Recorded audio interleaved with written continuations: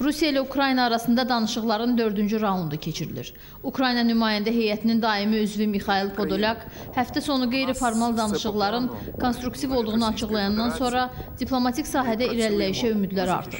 Rusiyanın konstruktiv danışıqlara başladığını deyən Podolyak bir neçə gündə müəyyən nəticələr əldə olunacağına ümidvar olduğunu bildirib. Буквально за декілька хвилин почнуться переговори з Станом на Росією. сьогодні 113 компаній гігантів. Ukrayna növbəti dəfə Qərb ölkələrini dəstəyi gücləndirməyə çağırıb. Xarici İşlər naziri Dmitri Kuleba Qərbi Ukraynanı bütün lazımi silahlarla təchiz etməyə, Rusiyaya qarşı sanksiyaları sərtləşdirməyə səsləyib.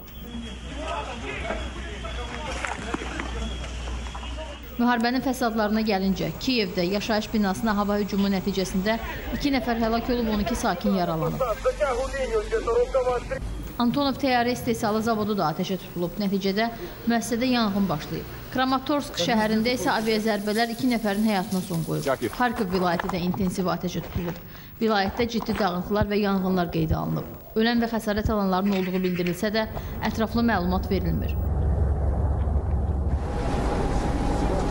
Bu arada bir sıra şəhərlərdə mülki şəxslərin təxliyəsi davam etdirilir. Baş nazirin müavini İrina Verişuk gün ərzində bir sıra marşrutlar üzrə humanitar dəhlizlərin fəaliyyət göstərəcəyini bildirib.